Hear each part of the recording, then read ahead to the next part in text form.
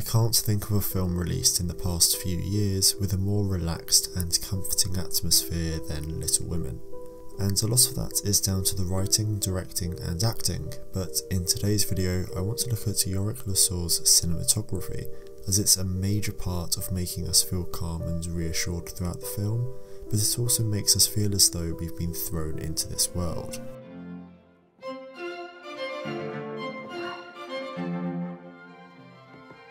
When I think of some of my favourite cinematography of the past few years, Little Women always comes into my head, and I've never really been able to put a finger on it until a recent rewatch, and then it clicked. It's something to do with the atmosphere that Greta Gerwig and Yorick Le Saux built.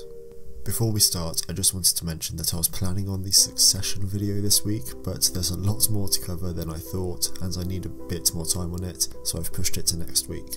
In today's video, I look at what equipment Yorick Le Saux used, as well as a few of the techniques he used to make us feel at home in the cinematography. As always, let's start by looking at the equipment first. I think it's clear that if you are shooting a period drama, it has to be shot on film if the budget allows for it. She absolutely wanted to shoot it on 35mm film as the overall texture provided by film grain would better support the reality of the story as opposed to the flat image produced by digital. When it comes to the subtle tones of faces as well as the colours of the natural world, the results are far more beautiful and engaging on 35mm than they are with digital. So they used Kodak's Vision 3 500T exclusively as it's not only one of the best all-round film stocks regarding image quality, but it allows for extended latitude in the highlights for improved flexibility and that's vital if you are only using one stock.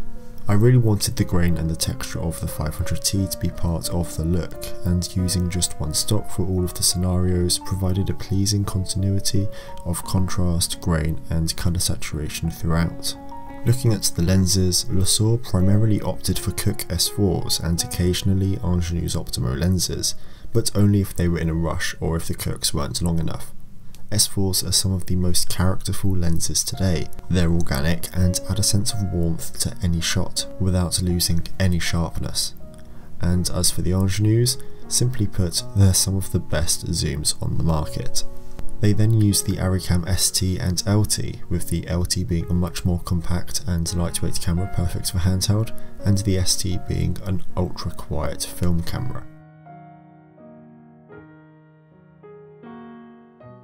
Where else do you start looking at the techniques for this film than the colour? It's undoubtedly one of the most simple yet unique techniques you could do, but it means everything and if you haven't already guessed it by watching the film or by this far in the video, it's the use of a warmer palette for the past and a cooler one for the present.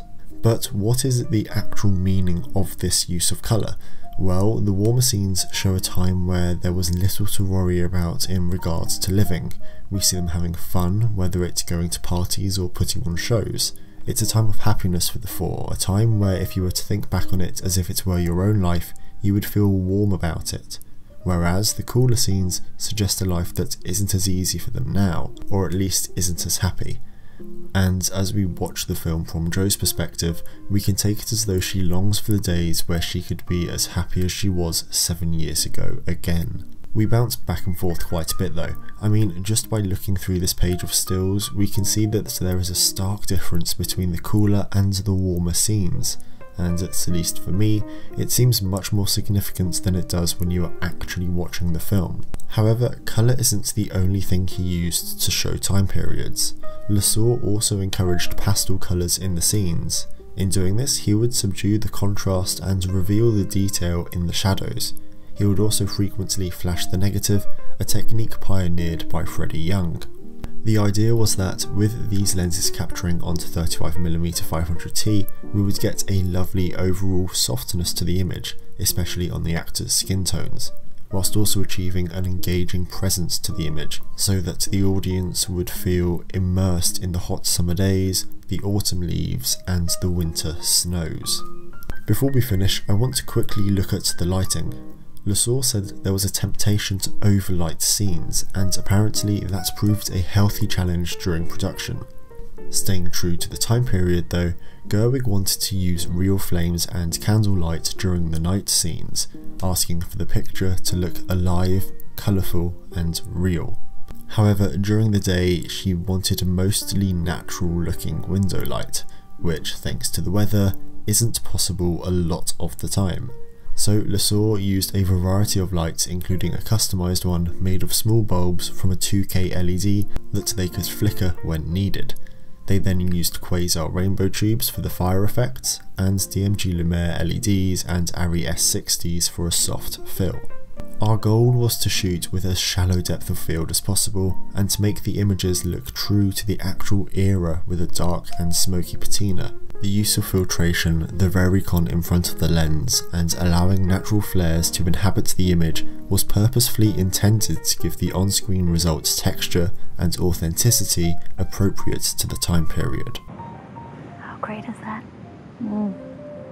I love to listen to you read, Jo, but I just love it better when you read the stories you've written. I don't have any new stories. Why not? Overall, the cinematography of Little Women is some of the most compelling I've seen in years. The use of colour to portray time periods is magnificent, and the way in which Yorick Le Saux and Greta Gerwig implemented lighting makes it feel so much more true to the original story. It also makes for a great double feature with Ladybird, which leads me on to if you're a fan of Gerwig's work, then you might also enjoy this video that I made a year ago looking at the cinematography of Ladybird, so I'll link that in the top right corner and description below. I hope you enjoyed this video looking at how Yorick Le Saux shot Little Women. If you have a film or TV show that you would like to see me analyse, then leave a comment down below. If you found it informative, a like is appreciated, and if you would like to see more videos like this, then hit the subscribe button. Thank you for watching, and I will see you next time.